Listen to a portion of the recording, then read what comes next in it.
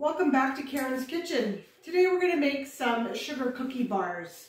I have one and a quarter cup of butter softened to room temperature and two and a half cups of sugar. I'm going to get these creaming together in the mixer. You always want to make sure you cream your butters and sugars together first. We're going to get that going quick and we're going to scrape the bottom after a few seconds. We want this to be nice and fluffy.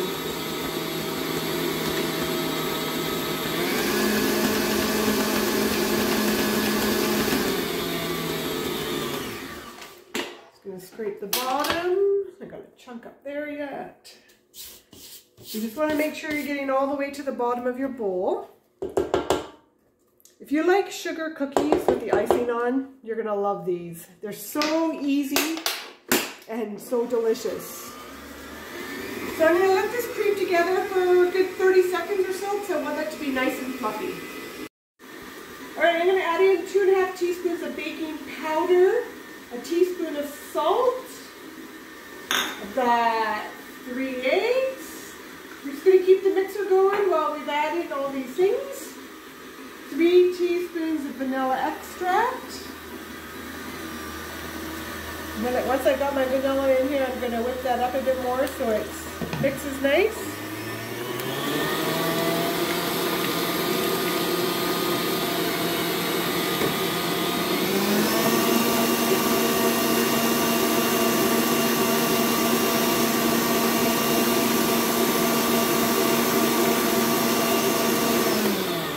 Just going to scrape the sides and the bottom yet before I add in my flour.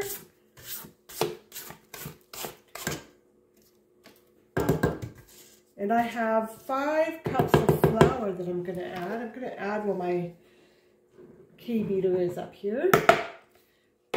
Don't start your mixer too quick because your flour will fly out. So I'm just going to start that on low for a minute. While we got that um, starting to mix together. little faster. Such a quick, easy bar to make. You want it to come all together. And it's very crumbly right now, but you do want it to come together. You might need to scrape the bottom of your bowl one more time yet, because you do want that to be, you have to press it into your pan, so it has to be mixed well.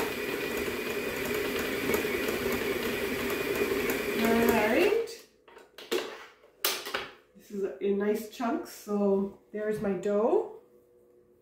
Okay, see that nicely mixed together. There's no dry ingredients at the bottom of the pan. And we're gonna get this into a cookie sheet.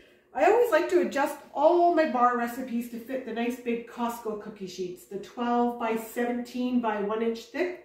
So I've, I've played with this recipe a few times and I've got the ratios nice for your, between your bar and the icing. So if you have a nice big cookie sheet like that, this is the way to go. So I'm going to get this into my cookie sheet. All right, so just get all your dough pressed into your cookie sheet, nice and even.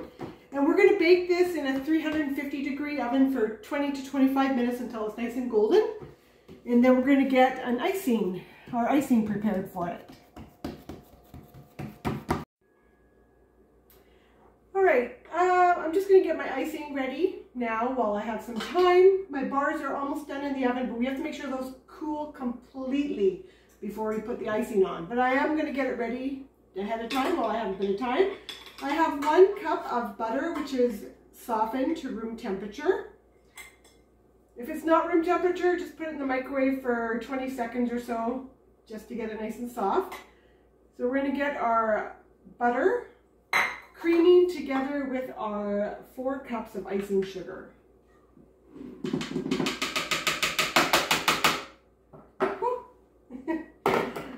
Right, so start your mixer off slowly because that icing sugar is going to poof up a little bit there.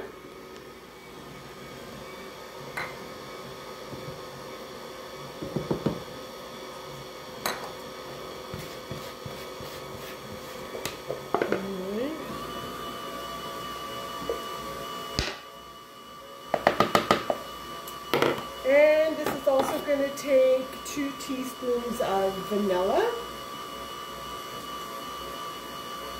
My cap measures about a teaspoon. And you're going to need up to six tablespoons of milk, which is about a third of a cup. So I'm just going to slowly add that until it comes together.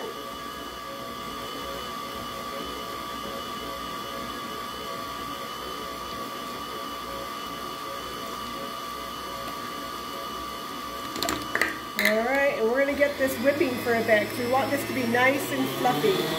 So we're probably to mix it for a good, a good minute. And don't forget to scrape your bowl partway through. Alright, nice and soft and creamy.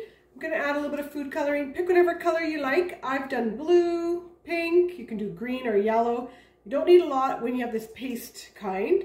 Just to stick it onto the bottom of my um, K-beater there. And that little bit is going to mix in to everything.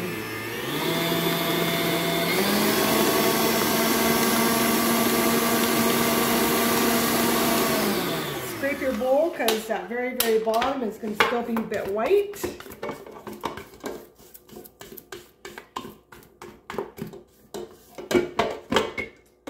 Once you give that one more mix, you'll be ready for when the bars are cooled off and ready to be topped. All right, I just pulled the bars out, nice and golden. Don't get them too dark because then they'll get a little bit too dry.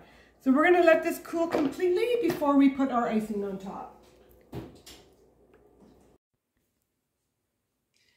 All right, so get your icing spread on here. And when you're done, add a few little sprinkles, makes it look really pretty. Give these bars a try. It makes a nice big batch, very easy. They also freeze really, really well. They're not gonna last in, in your house. They're just, they disappear very quickly around here. So I'll give this recipe a try. There it is on the card.